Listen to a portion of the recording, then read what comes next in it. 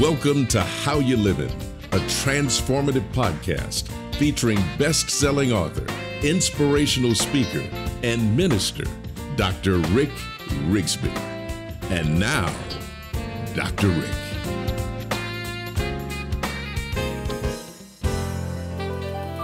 Hello, friends. Thanks so much for listening.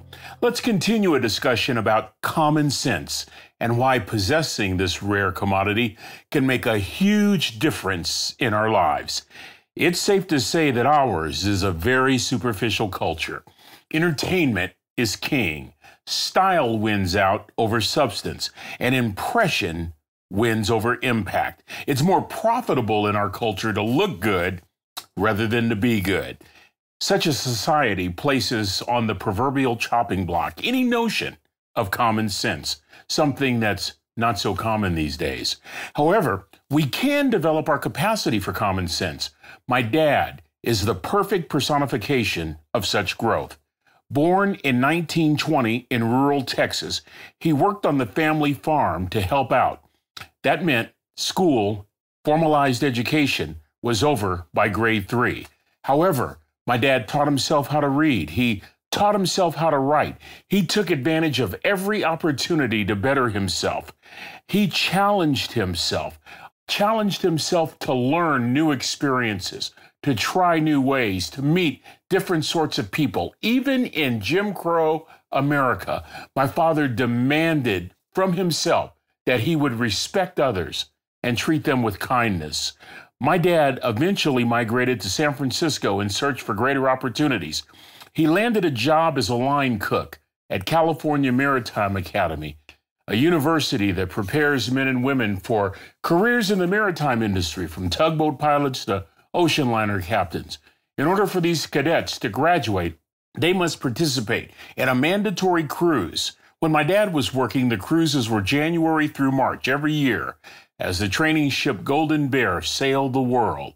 Following a career that lasted nearly three decades, my dad was a citizen of the world. He knew portions of several foreign languages. He had an intuitive understanding of global political systems. And talking to him about maritime geography, let's just say if it were a category on Jeopardy, dad would have nailed it. Many childhood dinner conversations would begin this way Ricky, tell me everything you can about the Galapagos Islands. And I'd respond, Dad, I can tell you about Gilligan's Island, but I don't know a whole lot about the Galapagos Islands. With each experience, my dad learned, and that learning became the catalyst for his journey. Let me explain. My father's life experiences formed the foundation for his common sense behavior patterns. From those patterns, I see three critical elements that made up his common sense. Number one, intelligence. Number two, wisdom. And third, discernment. All of these are learned behaviors. Each can be developed at any stage in life. Now, in a previous episode, we discussed intelligence. Just as a recap, intelligence takes knowledge to another level. While knowledge is gleaned by knowing something, intelligence is the application of that knowledge. It's applying what you know. Allow me to use my father as an example. As I mentioned, he was a cook at the academy in Northern California. California Maritime Academy is just one of several academies scattered throughout the United States. My father learned a skill. He learned how to cook. In addition, he was on that training ship three months out of every year for nearly 30 years.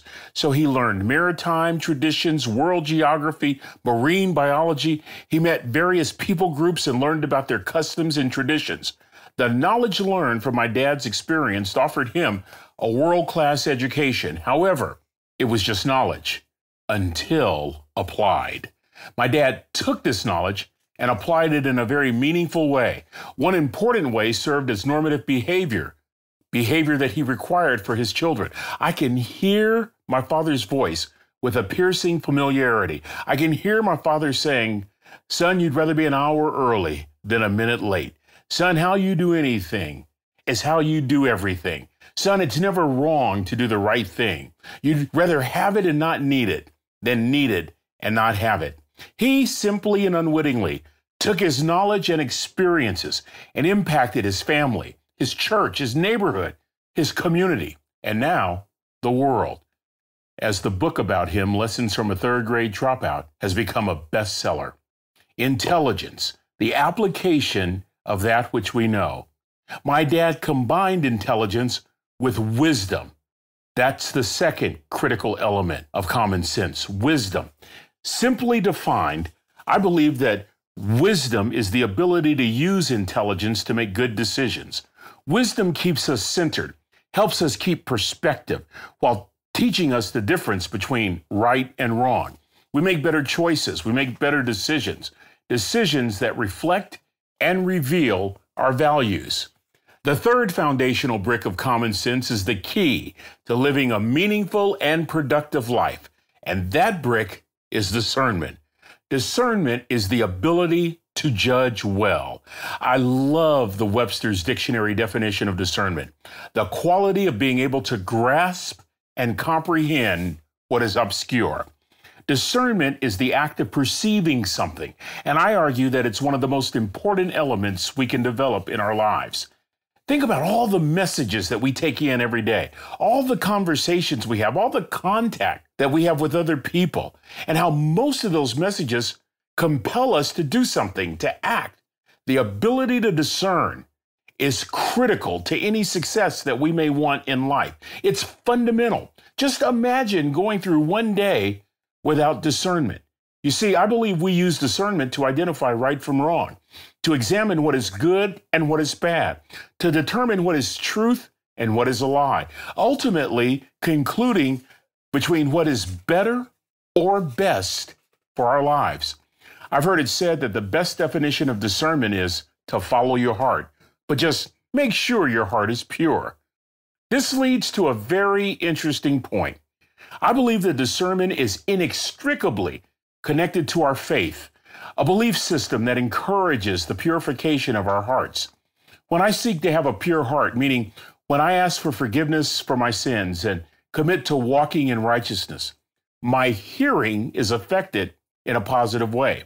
I hear my wife's voice, my children's voices, my friends, my colleagues' voices with greater clarity. I can even hear God nudging my heart, whispering to my heart. I can feel His presence encouraging me to do a particular thing or go a particular direction. One of my absolute favorite biblical stories is King Solomon's dream in 1 Kings chapter 3 in the Old Testament. As the story goes, Solomon is replacing his father David as king and is not quite feeling up to the task. In the dream, God says, Solomon, ask me what you wish. Ask me whatever you want. Solomon says, Would you give your servant an understanding heart so that I can judge your people to discern between what is good and evil? God granted the request. King Solomon wisely judges and goes down in history as the wisest man in the Bible. Father Mike Schmitz is a very popular Catholic priest who uses social media platforms to discuss relevant topics in today's world. He has a talk on the internet titled Discernment 101. I highly recommend it. He states that there's one very important variable about discernment. It requires action. Listen to what he said. Quote, we like to think and talk about discernment. However, at some point we need to act. People are afraid to move because they think, what if I take the wrong step? End quote. The father argued this is where faith in God comes in. Listen again. The father said, Here's the data that I know. I've processed this data, but I'm nowhere. I need to get more data. I need to talk to other people. I need to get more information. This is called taking action, end quote. For 42 years, I watched my father do all these things. I had a front row seat to the life of the wisest man I've ever met in my life. I watched him take his time and think through decisions, every single decision. I can recall on various occasions just asking my father a simple question, and it might take weeks, weeks to get an answer. For example, I remember this Dad, I said on one occasion, I'm just asking if it's all right to go to the Journey concert in the city with friends in two weeks. Well, son, he said, I need to think about it. His process was slow and methodic and maddening to a teenage son. He'd reflect, he'd contemplate, he'd meditate. Then came the questions, and then more questions. And here comes the part I really hated. He would discuss all the possible scenarios. And then he'd think more. And finally, he'd give me an answer. I didn't always like his answers, but I'll be doggone if he didn't make the right decision every time. Every time. My dad has been gone now for nearly three decades. I'd give anything to talk to him about his process of discernment. I'd love to ask, Dad, how did you cultivate discernment? How did you develop it? Did the process ever frustrate you? Did you ever make the wrong decision? I can pretty much guess his responses.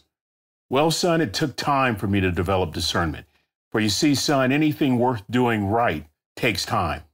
And yes, son, sometimes I made the wrong decisions, but the goal was never perfection. The goal was always improvement, to minimize my wrong decisions. Stay at it, son. You'll get it. The common sense of my father, a very simple man with little formal education, was so profound, and he based his common sense on three critical elements intelligence, wisdom, and discernment. His platform wasn't Facebook or TikTok, but rather the galley or the kitchen table. His impact? Well, let's just say he wasn't concerned with likes or being retweeted. His concern was singular. Who can I help this day? And who can I impact in a positive way? For my dad, common sense was the game changer. And his common sense continues to help, assist, advise, and impact to this very day. Well, that's going to do it for this episode. Until we meet again, this is Dr. Rick, asking the most important question I can ask. How you living? Are you ready to make an impact in your world right now? Do you want to stop existing and start living your best life right now? Dr. Rick wants to give you the first chapter of his best-selling book, Lessons from a Third Grade Dropout, absolutely free. Just go to www.rickrigsby.com forward slash free gift to get the print or audiobook right now. This is the podcastfactory.com.